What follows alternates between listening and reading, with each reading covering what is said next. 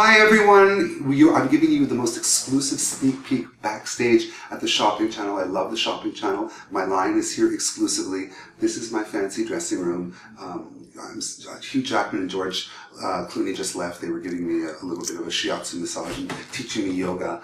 Um, people ask me all the time, what what's what are the do's, what are the don'ts in fashion, and you know I'm known to be a little critical of celebrities, but it's done in a tough love, honest way. I love celebrities who wear who wear very clean, polished looks. You know, simplicity Less is more, I know you've heard that before, but less is more is the greatest fashion truth that you will ever hear. I mean, Gwyneth Paltrow is my idol. I put her up on a pedestal.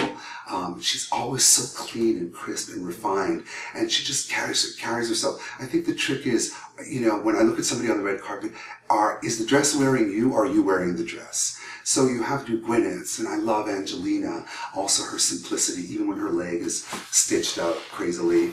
Um, and I love Halle Berry, and I love Sarah Jessica, and I like the new crop of girls. I love Emma Stone, and Carey Mulligan, and Michelle Williams. I'm crazy for Michelle Williams. And what do these girls all have in common? They dress, everything is less than more. Less is more. If you look at Michelle Williams, she just has earrings and a chic dress on.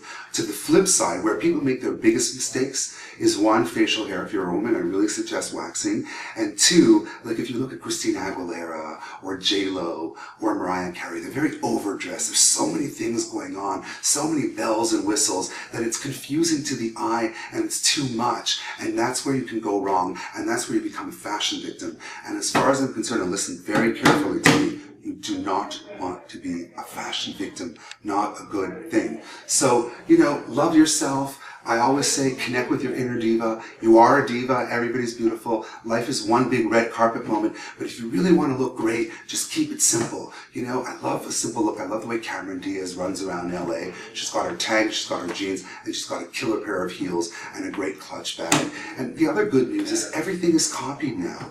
You know, you don't have to spend a lot of money to look great. You know, I go to all these stores and I shop on the shopping channel and I see things that are so inexpensive and casual and, and fabulous so be fabulous and tune in here. And do you like my hair? I've gone darker, kind of Angelina meets Steven Tyler.